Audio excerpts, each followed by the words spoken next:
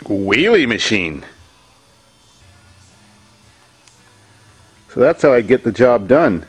It's really handy having a engine hoist kind of thing, chain lift, on the ceiling in my shop when I want to work on my lawnmower. This is the first time this spring, 2009. It's May 10th and it's real cold out. If you don't have a chain hoist, you can pick it up with your backhoe bucket and a chain. That always works good. And if all else fails, just roll it over on its side if you want to work on it underneath. So first thing I did was drop the deck off of it while it was up in the air and noticed the deck drive belt is pretty bad. I always kept a spare, so it's installed.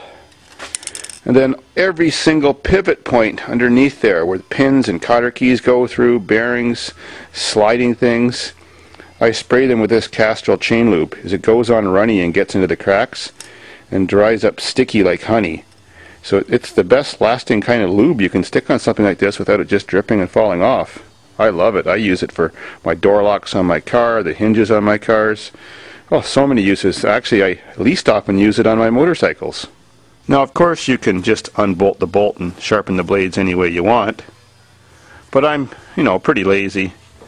So if you take your little hand grinder, you get the back side of the wheel on it, and you go back and forth like this, Sure, it puts a curve in the backside of your wheel, but that shapes it just perfectly for sharpening your chainsaw, as a method I showed last year.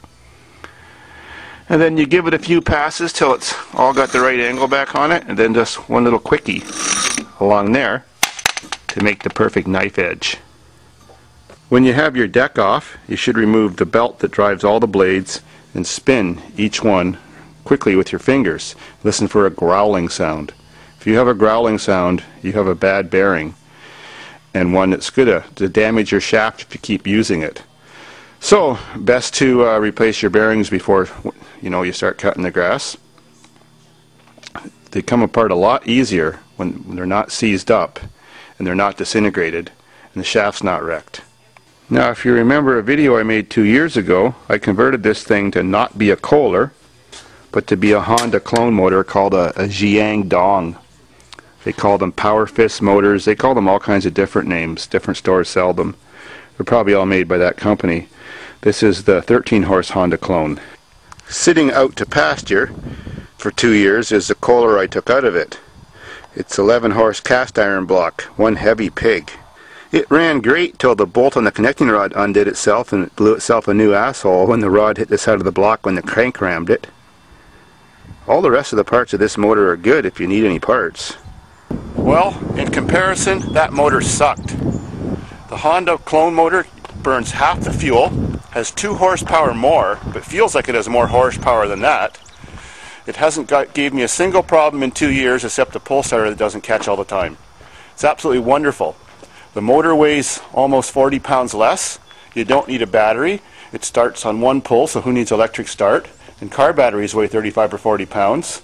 So I've saved about 80 pounds total weight of my machine. The Honda motor, or the Honda clone motor, being overhead valve, it's more modern. That's one reason why it burns less fuel. It's less CCs. It's another reason.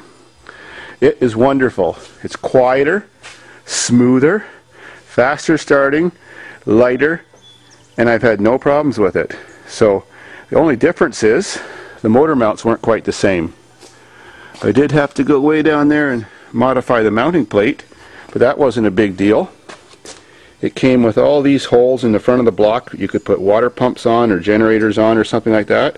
And they were already exactly in the right place to fit all these brackets for my drive system. The shaft was the right size. The height from the center of the shaft to the mounting base was the correct height it was absolutely perfect just except for the motor mount bolt holes at the bottom of the mounting plate of the motor. Comes with that tiny gas tank in comparison to the big gas tank that was on this machine. But I can cut between four to five hours on this tank of gas. And before, with the big one that was under the seat, I used up that whole tank cutting the same length of time. I just put, the pull starter just has three bolts that holds it on. I just took it off, rotated it so that it pointed towards the driver. As you can see, it still has that problem of not catching unless you give it a quick jam. simple enough to fix. It just needs more friction on the dog mechanism. This is a throttle. I never even bothered running a cable. I can just reach that with my arm and set it wherever I want and drive. So now that I got all that crap cleaned out of it, next step before I start anything in the spring, especially Tecumseh lawnmowers, is drain the bowl. If you want an easy start, fresh gas sure works. They almost never start on last year's gas in there. Now one thing I did to modify my tractor, because I often cut very deep long grass with it, and doesn't work very well with a standard deck. It just bends the grass over and rubs on it and you drive over it stands back up again. So what I did was took the cutting torch and cut out the front of my deck. Since I don't use this thing in the city, I use it only at the farm. That's perfect for me. The only disadvantage is a lot of grass flies all over the place. So sometimes you get some in your face. It also likes to suck it into the air intakes on the pole starter and clog them up. So I'm, while I'm driving, I'm just brushing those off occasionally. But it made a huge difference of how well it cuts long grass. Down she goes. Oops, wrong one. All ready for the first start of 2009. I think she's a 1979 model. I got her for free years ago with a blown motor. And now that I don't use a battery anymore in it, I took out the battery box. We got a big enough compartment there for a 12 pack, you know. It does take me five and a half hours to cut all the grass on my five kilometers of trail-like roads I made back there. So it is the long haul. You have to be prepared. Alright, choke on, kill on. If I don't pull it quick to give it that jam, she doesn't catch. One pull!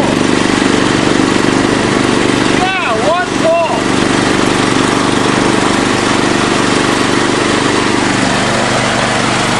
Amazing for Chinese technology. It hasn't been running since uh, September of 2008.